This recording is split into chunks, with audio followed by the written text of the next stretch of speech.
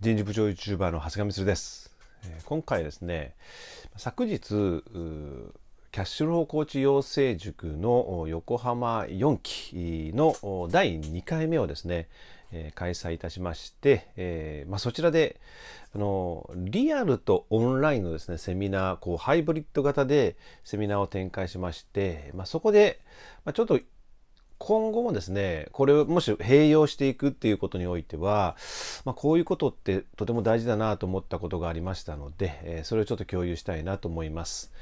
で、あの、まあ、キャシュロコーチ養成塾というのは、えー、ワニ達也先生がですね、開発されたプログラムで、まあ、東京と大阪で、えー、ライブ講座を展開をされていて、まあ、全国に今あの9箇所ですね9箇所ほどまあ、ワニ先生の動画を使ったあのファシリテーター講座というですね、えー、講座を展開しております。で、その横浜を私は、えー、ファシリテーターをやらせていただいてるんですけども、まあ、昨日というか、えー、と6月から開始をしておりまして、まあ、6月からあのリアルとオンラインこの併用で展開をしております。まあ、昨日もですね受講生の方が11人いらっしゃるんですけども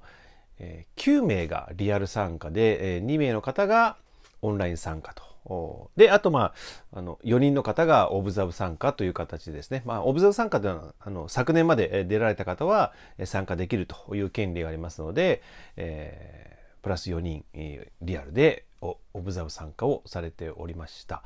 で、まあ、そこでですね、ちょっと今日の本題なんですけども、まあ、リアルとオンラインのこの併用の時に、まあ、意識しておく、まあ、セミナーの展開においてですね、意識しておくことっていうのは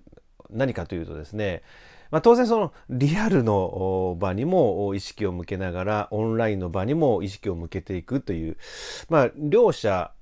ですね、ちゃんとこう意識を向けていかないといけないというところです。で特に、まあ、1回目の時はオンラインの方があのちょちょっと多くってですねでまあリアルとオンラインを併用していくっていうスタイルっていうのを、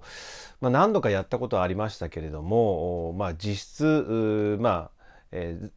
6月がですねちょっとチャレンジをしたというところがありましてやってみての感覚からこう軌道修正したっていうことは何かというとですねその発表を取るっていうことにおいてオンラインの方はチャットをチャット機能ですね。まあ、Zoom っていうシステムを使ってますけども、Zoom の、まあ、オンライン会議システムを使っていて、そのチャットをうまく活用するということをしております。で本来このキャッシュローコーチ養成塾というのはグループでのディスカッションというのがあの割と頻繁にあるんですね。えちょこちょこグループディスカッションして、えやっていく講座なんですよ。でというのも当然その講義の内容ワニ先生が話す内容だったりとか私がフォローしていろいろ解説をするとかっていうことなんか含めてまあそういう学ぶところもあるんですけれどもそれはそれとして学べるんですけども合わせて受講生間のですね発表を取ることによってそこに大きな気づき学びっていうのが展開されるということですね。要は受講生間でいろんなこう気づきをそこで生み出していくというのが、まあ、グループディスカッションの非常にこう効果ではあるんですけどもやはりまあ今回はですねちょっとまあ今様子見をしているところなんですけども、まあ、グループディスカッションを、えー、一旦もうやめてですね6月も7月も昨日もですねやめたんですよ。でだけどまあ極力ま発表を取ろうと。まあその発表を通して他の受講生の方が学べるという部分もありますので、まあそういう展開をしております。で、1回目の時にはまあそのリアルの方から例えば2人とか3人ぐらい発表いただいてでオンラインの方にも2人ぐらい発表いただくみたいなでオンラインの方はオンライン越しにで、まあ、スクリーンにあのオンラインの参加の方はあの見える出るような形でですねうちあの映し出してるんですよね。だからリアルの会場の方からするとオンライン参加の方が発表したことについては、えー、まあそのライブでですねあの、まあ、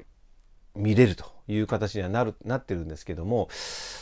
ただやっぱりなんだろうこう全員が発表できるという状況ではないんですよね。まあ一人一人発表をずっと取ってたらですね毎回目が取っていったらですね相当時間が膨張してしまうのでやっぱり割と限られた人数で、えー、発表いただいてたんですよ。でまあだけどもすごく時間が膨張したっていう部分もあったので今回は、えー、オンラインの方は、まあ、発表もたまに取りましたけどもチャットをうまく活用しようというふうに思ってその質問とか投げかけとかグループまあ、グループ発表というか、まあ、実際に考えてもらって発表するような場面の時にもですね極力もチャットに書いていこうとでいうような形でですね行っていきました。というのもやっぱりこうアウトプットする？オンラインの方がアウトプットするというような状況が作られるとその分でですねやっぱりこうオンライン参加してる方もですね参加度がですねまあ上がってくるってこともありますしやっぱり他者からの発表をまた聞いてですね、まあ、それをいい刺激を受けるということにもなってくるので、まあ、そういう意味でこのチャットトをうまく活用するということをこう今回は低下あの展開しました。で合わせて、えー、この、えー、今回の講座4時間の講座なんですけども4時間のそのゴールもしくは次回の講義、まあ、1ヶ月後にまたあるんですけどもその1ヶ月後までの間に、えーまあ、どんなことを、まあ、ゴールとして設けようかということをですね、まあ、ゴール設定を最初の段階でしたんですけども、まあ、その時もですねその時は、まあ、もう Facebook のグループをその横浜4期というグループがありますのでそこに私がですねそのゴールを書きましょうということを Facebook 投稿してそのところのコメント欄にどんどんどんどん書き込みをしてもらうと。だからその場で、まあ、まず考えて、まあ、紙で、えー、ね、あの書き出したものをそれを打ち込んで、えー、発表アウトプットすると。でやっぱりその他の人たちの書き込みなんかも見れるので、まあ、それもですねまたお互いがお互いこういい刺激を与えるもしくはまあいい学び気づきを得られるということになるのでやっぱりそういう意味ではそのなんでしょうね SNS だったりとか、まあ、そういうデジタルツールをうまく活用しながら、えー、まあ、参加度をこう上げていくっていう形ですね。やっぱり、まあ、本当はね、理想はリアルでグループディスカッションをどんどんどんどん展開していく方が、これはやっぱりお互いの、その、ね、受講生間の学びっていうのは大きいんですけども、まあ、ただまあこういうご時世なのでなかなかそういう積極的にじゃあ話し合いましょうとかっていうようなことっていうのはちょっと避けている状況でありますのでじゃあそうしたらですねうまくこうデジタルのツールっていうか、まあ、SNS とかね、まあ、チャットとかそういうものを活用していくと、まあ、そのアウトプットするってことになりますのでそういう意味では参加度も上がってくるなというふうに、えー、思っております。まあ、ということでですね、まあ、今回はあ以上になります。で、まあ今回はですね、まあこのリアルとオンラインの、まあ、ハイブリッド型セミナーをする場合に、このチャットとかうまくこう適時アウトプットするような場面をうまく活用していくと参加度がアップしていくということについてお話をしました。はい。ということで、えー、ぜひ高評価およびチャンネル登録をお願いいたします。